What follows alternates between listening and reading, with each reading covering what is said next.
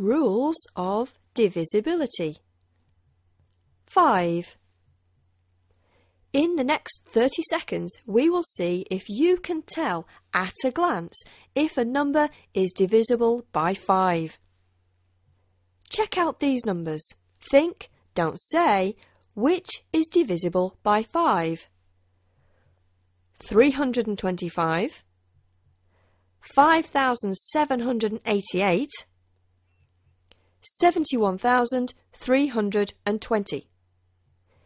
If you think these numbers are divisible by 5, you're right.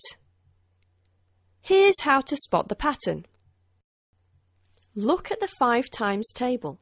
Every multiple of 5 ends in a 5 or a 0.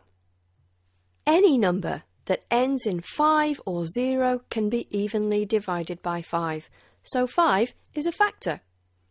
And of course, it doesn't matter how big or small the numbers are.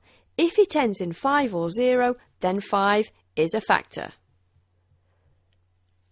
Let's see if you can tell at a glance if any number in this next group has 5 as a factor. Hold up your yes or no answer to show your teacher what you think. Your teacher will pause the film to give you time to answer.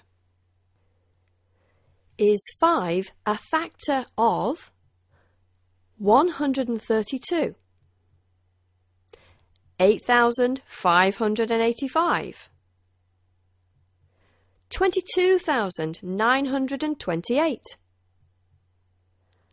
156,035 Six million five hundred thousand. If you said no, yes, no, yes, and yes, then you've got it.